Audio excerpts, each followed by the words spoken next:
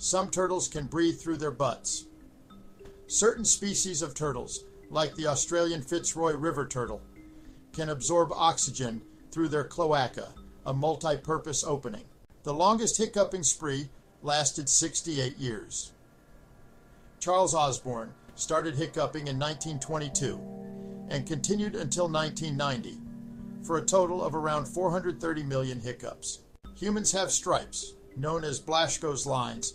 These stripes are invisible under normal conditions, but can sometimes be seen under UV light or in certain skin conditions. There are more fake flamingos in the world than real ones. Plastic flamingos, often used as lawn ornaments, outnumber their real life counterparts. Vikings used bones as sleds, To get around on snow, Vikings would strap animal bones to their feet, creating an early version of ice skates. Sharks don't get cancer. Their cartilage contains compounds that inhibit tumor growth, which has led to studies for potential cancer treatments. A day in Pluto is 6.4 Earth days long.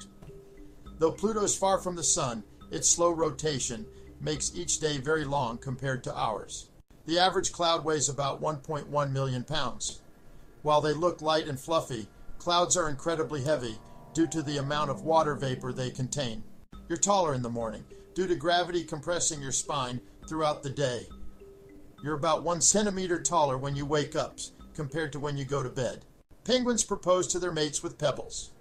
Male Gentoo penguins give their chosen partner a pebble as a gift. If the female accepts, they become a pair. Jellyfish are 95% water. This makes them incredibly fragile and explains their jelly like consistency.